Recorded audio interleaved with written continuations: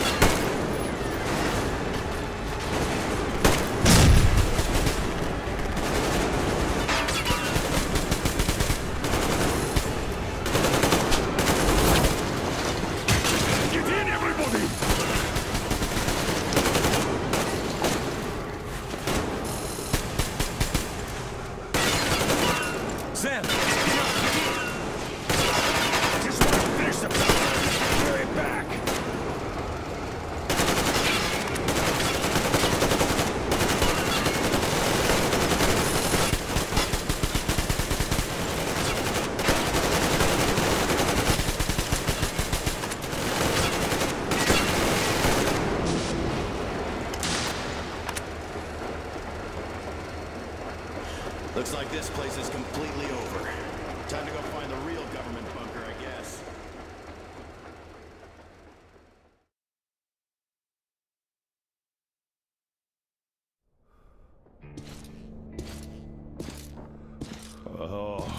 think I believed those pricks from Hansa.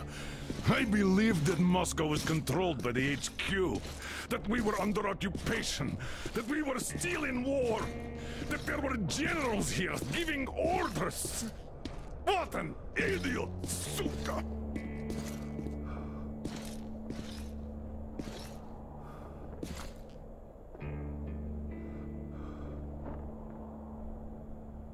I will repeat my question.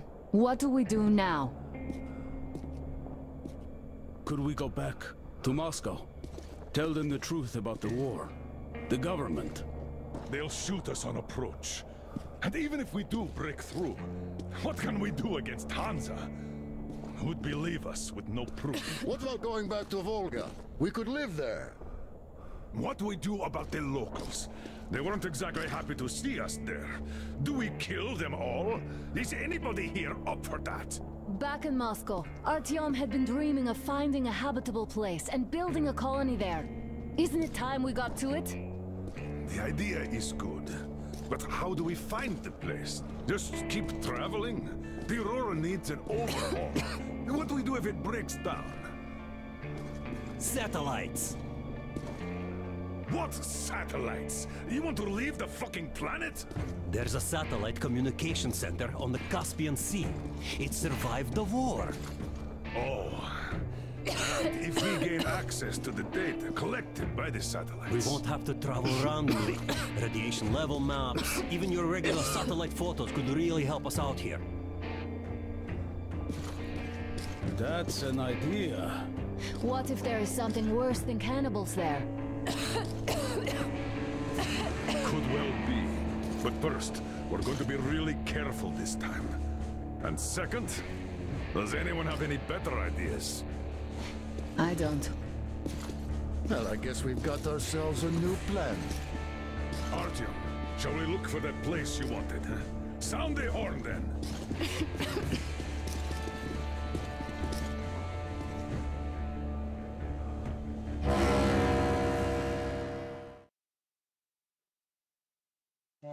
Three months on the road, three months of constant trial. But After Yamantau, we are ready for anything fate can throw at us. Mere kilometers separate us from the Caspian One communication center. Will the maps within yield a spot free from radiation where we could finally settle in peace? I don't know. But what's left for us but hope? The desert is taking its toll. The crew suffers from heat and thirst, and the Aurora is not in her top form. We're out of coal and had to switch to burning available fuel.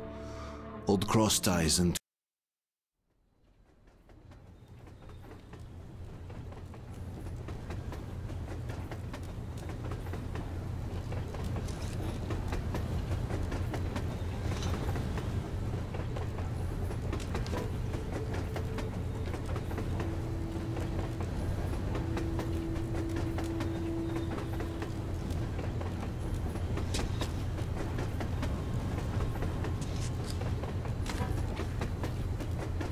I'm not in love with this place. Nothing but sand and heat. I feel like shit here.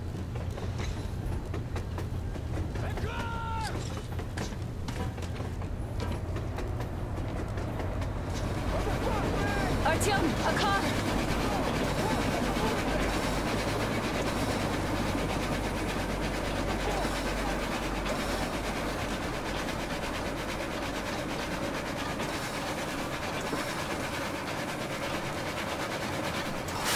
Somehow, I don't like this welcome either.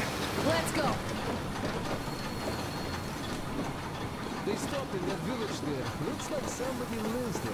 I see. How are the men doing, Damir? Stepan is the worst off, but the others are not so well either. Oh, only us here are still in fighting shape. Thank you. Anna, you and Damir reconnoiter the area.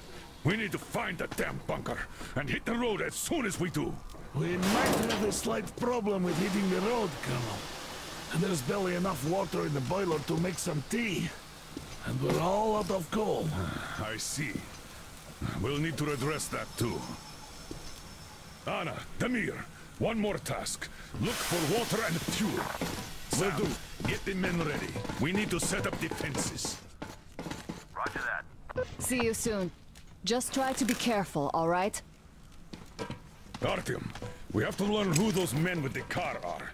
They do look like regular bandits, but we can't take risks here. The car was headed for the village. Looks like they have a comms relay there, and it should hold some info, which is just what we need now. Move out as soon as you're ready. Krest, can your rail car pull the train? It might, but really slowly and not for too long. The engine is too weak for the weight and we, we don't have much diesel left. Well, if we had enough tea.